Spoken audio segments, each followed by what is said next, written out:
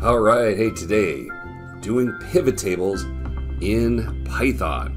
I'm excited I get to update this book, Microsoft Excel Pivot Table Data Crunching. We'll have to add a chapter on Python pivot tables. Something new today. Let's try podcast words of the day. The word craw, like I have something stuck in my craw. You ever know what that is? It's like the neck or throat of a bird. Isn't that a weird one? Curmudgeon, smart lookup. I thought maybe they just have a picture of me. All right. Uh, df.pivot underscore table creates an Excel like pivot table in a data frame. The arguments, uh, the weird one here is uh, like columns is the column fields, but if for the row fields, you have to use an argument name of index. Um, and then the other weird thing is the aggregate function defaults to mean instead of sum. Uh, empty cells show as errors. You have to use this uh, fill value uh, and set it to something. Um, no grand totals by default. You have to turn those on with margins equals true. And then when you turn them on, the margins, I mean, the grand totals are called all unless you change the margins name. Uh, can you group by dates? Oh, Layla showed that the grouper function. Um, you can, but then the grand totals have to be turned off, or you get an error. Of I don't know why I ever thought that this would ever happen, but you know, pivot tables sort by custom lists. Of course, Python can't see into our registry and know what our custom lists are, so that's never going to work. And then, um, word of the day is going to come up, which is just an odd arrangement of headings when we have multiple row fields. Which brings me to then to the question of, wow, could I wrap this Python formula in the drop function? And I think I have to do it as two different fields. Uh, some advantages over Excel. The pivot tables that we create in Python will automatically recalc without refresh. And uh, the date grouping actually offers some really cool options. I wish that these options in Python uh, grouping would come back to Excel. They're, it's very flexible. All right, so the data that I always use for pivot tables 563 rows, region, product, date, sector, customer, quantity, revenue, cost of goods sold, and profit. Our Python code is over here. Let's just scroll over. And we'll start with a very basic pivot table. So values is revenue. Uh, index, that's the row field, is customers down the left-hand side. Columns across the top is region, like that. And you see all these num errors. That just means that ABC stores didn't buy anything in the central region or the east region. And so we want to fix that. That's called fill underscore value is equal to zero. Control enter. All right, good. That's great. Uh, and then by default, the ag function is going to give us an average instead of a sum.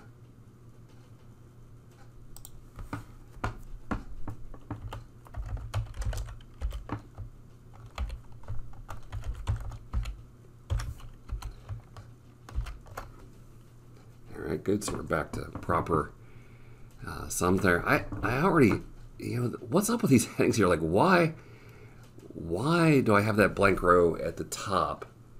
And I see that they're putting the word region here, where in a regular pivot table would be up in L1.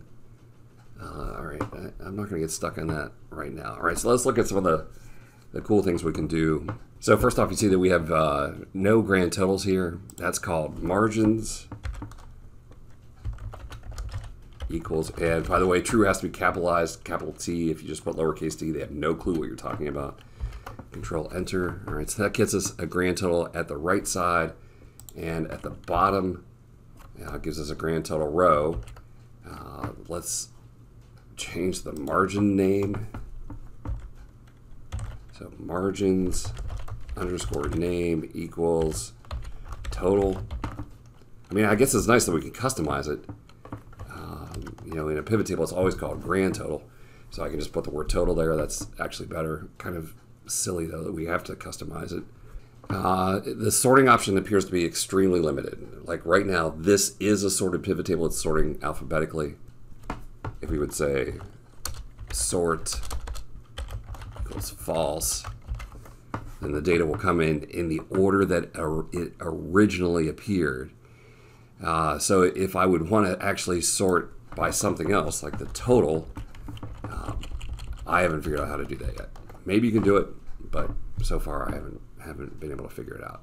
All right, so right now it's been pretty simple. We have one field for the values, one field for the columns, one field for what they call index and we call rows.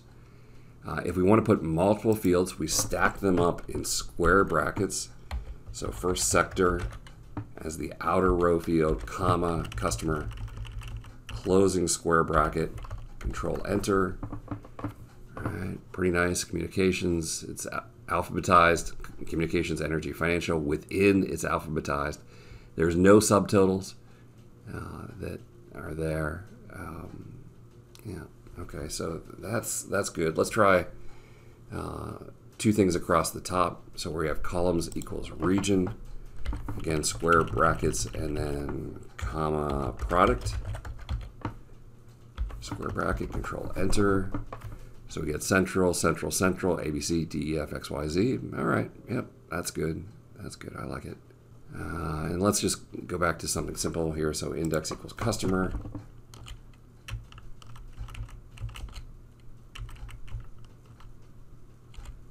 Columns equals region. And then for values, let's put in two things. So square brackets, we use revenue, comma, profit, closing square brackets, control enter. So profit central, profit east, profit west, profit total, revenue, revenue, revenue, revenue. I can't figure out why the NAs are appearing out there. All right, here's a uh, here's a, something that's pretty different. So here I have revenue and profit as the values, and then for the aggregate function, curly braces. I haven't seen that yet in Python. And we say for the field called revenue, we want to use sum, but for the field called profit, we want to use mean. So mixing the calculation for each field. That's good. All right, but next I want to take a look at uh, how to group this by month or something like that. So go back to just revenue. Down the left-hand side, we'll put date.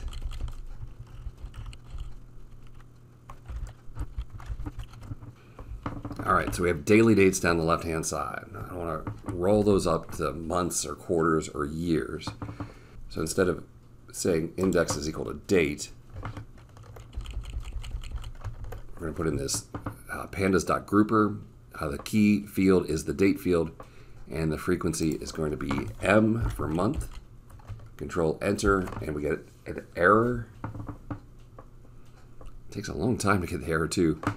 And the issue, it's not very, it's not explained very well here at all, is that we cannot have the grand totals if we're grouping by month. So get rid of those. All right, there we go. There's our months, including a uh, leap day there in February of 2020. When I went to look up the various frequencies that we can use, it is pretty wild. So uh, we have an option for week. All right, that's great. Uh, we have an option for quarter. You can even do QS for quarter start. Here's a cool one, SM for semi-monthly. So that's the 15th and end of the month. Can't figure out why. My data starts on January 1st of 2020. Why we're getting that, I, I can't explain that one there. Um, and then semi-monthly starts. Okay, all right. So we have all those built in, right? But we can do other crazy things. So like W is week. And I can say I want to break it into two weeks. So 1 5, 119, 2 2. I can break it into, uh, let's see, three day periods. Or for payroll, maybe 14 day periods. All right, these are cool. I wish that we had those in Excel. Of course, I also wish we had grand totals in Python, so you know it, it goes both ways. Pivot table creates an Excel-like pivot table in a new data frame. I don't know why I'm so irritated with these blank cells right here, these four blank cells. And so, you know, here's the same pivot table created in Excel. It's not an Excel like pivot table, it, it is a pivot table. And they move the word region up above. And it's like when I when I look at this pivot table, I don't even see the word sum of revenue and region up there in row two. I just see this really good set of headings right here and wish that I had uh, not sector and customer here and central, east, west total there. So this Python formula is returning a spillable array there to cell K2. And thanks to the Excel team and those 14 new functions they gave us last year, uh, it would be possible to use VStack, HStack, take, choose rows, drop, to take this array and make it into the array that I really want. That's a complicated formula, but it's not that complicated. I guess my problem is what I'd really like to do is I'd really like to take this Python formula and replace it in here. Every time I refer to K2 three times, you know, like have a let function that points to that. Because right now I have to return this ugly looking Python pivot table to the grid and then come over here and create the report that I really want. Even if I came here and said, convert this to a data frame, Control Shift M, then this can't deal with that. I'm really aware that I'm like the kid on Christmas. Uh, it's now the afternoon and I'm drunk on all of these toys that I have, and I'm starting to say, well, geez, Santa Claus brought me something here that is not as cool as I would have thought it would be. And I don't want to be that kid on Christmas. So, hey, this is really good, right? We have this, this great function, pivot underscore table it lets us do a lot of cool data frames, you know, take data and create a lot of analysis that are sort of like pivot tables. Do we have all the pivot table functionality? No. But it automatically refreshes and let's look at the good things. The grouper has some very interesting uh, date grouping, like every three days or you know twice a month. Those kinds of things, right? Those are all great, great things. Well, hey, I appreciate everyone who's uh, watching this series on Python. Uh, you know, it's it's great for me to kind of come up this learning curve and share with you uh, what I've learned along the way. I want to thank you for stopping by. We'll see you next time for another netcast from Mr. Excel. If you like these videos, please down below like, subscribe, and ring the bell. Feel free to post any questions or comments down in the comments below.